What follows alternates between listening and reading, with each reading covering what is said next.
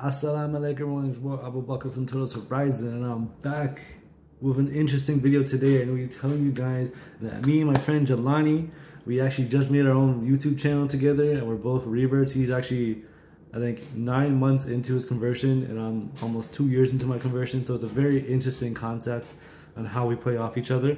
And our energies, like if you see the whole channel, like our energies, like we, we, we balance out. It's really interesting. We are called The Reverts View. You can actually follow us on YouTube. I'm gonna leave the link in the bio below.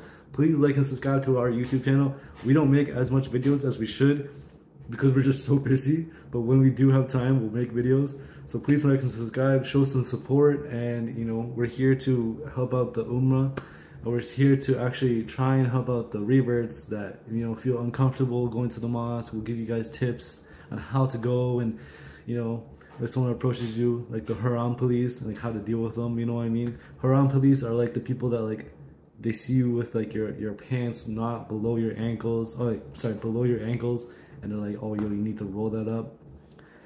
You know, things like that. I've I've gotten I've gotten told by Haram police about my T-shirt one time. It was pretty funny.